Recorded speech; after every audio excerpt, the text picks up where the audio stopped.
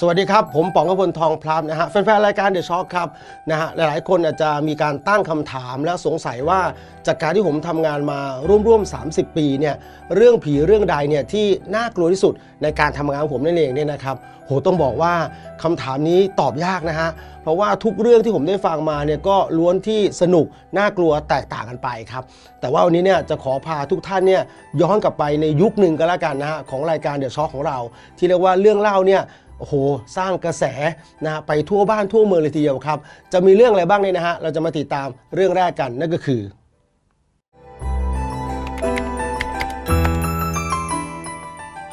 สาวชุดดำเรื่องของสาวชุดดำนี่น่าสนใจครับ แล้วก็มีความน่ากลัวมากๆ เรื่องราวของผู้หญิงสองคนฮะโบกแท็กซี่ ให้ไปส่งที่วัดเสมียนารีครับ แล้วเมื่อถึงวัดเสมียนารีปั๊บเนี่ยฮะส่งเธอเสร็จเนี่ยเธอก็หายไปนั่นเองครับ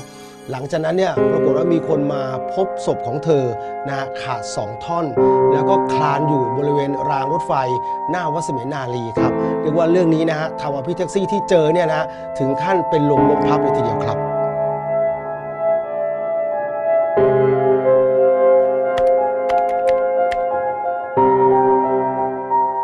เรื่องต่อมาฮะเป็นเรื่องของน้องๆวงตรีวงหนึ่งครับ เขาไปรับงานเขาไปเล่นดนตรีที่ร้านหนึ่งที่อำเภอหาดใหญ่จังหวัดสงขลาปรากฏว่ามีเหตุการณ์ที่ไม่คาดคิดนะครับ เมื่อเขาเข้าไปในห้องพักเนี่ยกลับไม่ได้มีแค่คนที่มีลมหายใจเท่านั้นครับ แต่ยังมีการปรากฏตัวของวิญญาณสาวคนหนึ่งในช่องแอร์และหลังจากนั้นนะครับ ชีวิตของพวกเขาก็ไม่เหมือนเดิมอีกเลยครับ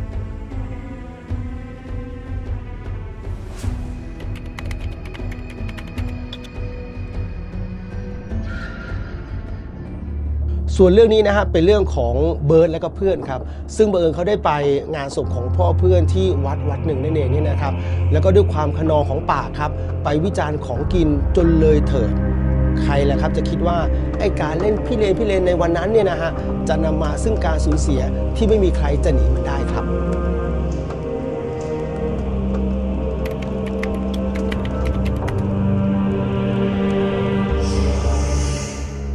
ส่วนเรื่องนี้นะฮะเป็นเรื่องของน้องปลายครับผู้หญิงคนหนึ่งนะฮะที่เดินทางไปฉลองเทศกาลปีใหม่ ที่จังหวัดเชียงใหม่ครับนี่คือจุดเริ่มต้นของความน่ากลัวสยองขวัญที่รออยู่นั่นเองเนี่ยนะครับเธอมีโอกาสได้เข้าไปพักโรงแรมโรงแรมหนึ่งครับ ซึ่งเธอไม่รู้มาก่อนเลยว่าโรงแรมนี้มีความน่ากลัวสยองขวัญรออยู่ จากเทศกาลที่น่าจะมีแต่ความสุข ความสนุก แต่สุดท้ายครับมันกลายเป็นเทศกาลแห่งความสยองขวัญ จนทำให้เธอเนี่ยเรียกว่ามีความทรงจำที่ไม่สามารถจะลบเลือนลงไปได้เลยครับ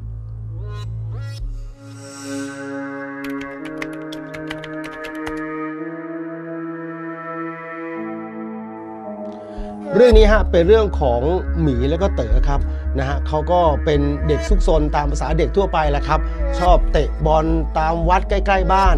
มีอยู่เย็นวันหนึ่งครับ ปรากฏว่าเพื่อนๆเนี่ยชวนเล่นซ่อนหาครับแน่นอนว่าตามภาษาเด็กฮะก็อยากจะสนุกสนานกับเพื่อนด้วยนะฮะปรากฏว่าทั้งสองคนเนี่ยก็ไปแอบณยังสถานที่หนึ่งฮะซึ่งสถานที่ที่เขาเข้าไปแอบเนี่ยทำให้เต๋อเนี่ยต้องมีอันเป็นไปนั่นเองนะครับใครจะคิดเลยครับว่าสิ่งของชิ้นเล็กๆเนี่ยที่เขาหยิบมาเนี่ยมันจะพากชีวิตของเต๋อไปตลอดกาลนั่นเองครับ